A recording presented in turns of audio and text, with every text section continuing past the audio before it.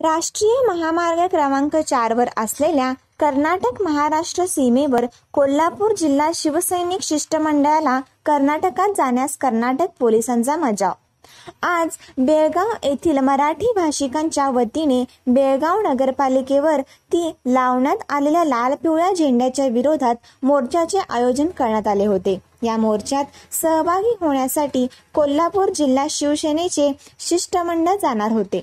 कोल्हापूर जिल्हा शिवसेनेच्या शिष्टमंडळाला कर्नाटक सीमेवर तीच पोलिसांनी रोखले. या शिष्टमंडळाचे नेतृत्व कोल्हापूर जिल्हा अध्यक्ष विजय देवणे यांनी केले होते. बेळगाव येथे आयोजित मोर्चा कार्यक्रमाला कोल्हापूर जिल्हा शिवसेना शिष्टमंडळ जाणार असल्याची माहिती कर्नाटक पोलिसांना मिळाली होती. त्यामुळे अतिदक्षता म्हणून कर्नाटक व महाराष्ट्र पोलिसांनी सीमेलगत मोठा बंदोबस्त लावण्यात आला होता. यावेळी कोल्हापूर जिल्हा शिवसेना प्रमुख विजय देवणे व त्यांचे कार्यकर्ते मोठ्या संख्येने या ठिकाणी जय भवानी जय शिवाजी या घोषणा देत दाखल झाले. यावेळी त्यांना कर्नाटक व महाराष्ट्र पोलिसांनी सेमी लगेतच अडवलं. यावेळी कोल्हापूर जिल्हा शिवसेना अध्यक्ष विजय देवणे यांना बेळगाव जिल्हा बंदीचे पत्र त्यांच्या हातामध्ये दिले. या पत्राचा निषेध करून व कर्नाटक शासनाचा निषेध करून या पत्राची होळी कार्यकर्ते व पोलिसांच्या समक्ष त्यांनी केली.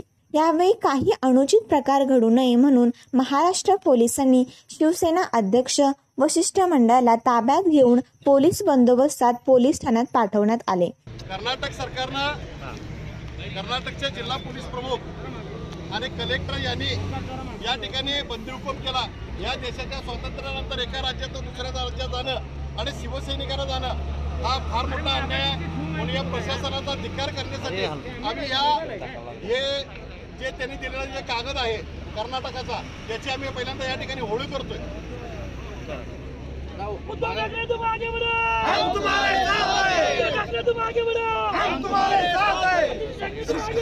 हम तुम्हारे साथ हैं। यावेळी कर्नाटक सीमेवरती निप्पाणीचे सीपीआयएस Gurunath P S I B S Talwar Amar Chandanshiv यांच्यासह मोठा पोलीस बंदोबस्त ठेवण्यात आला होता.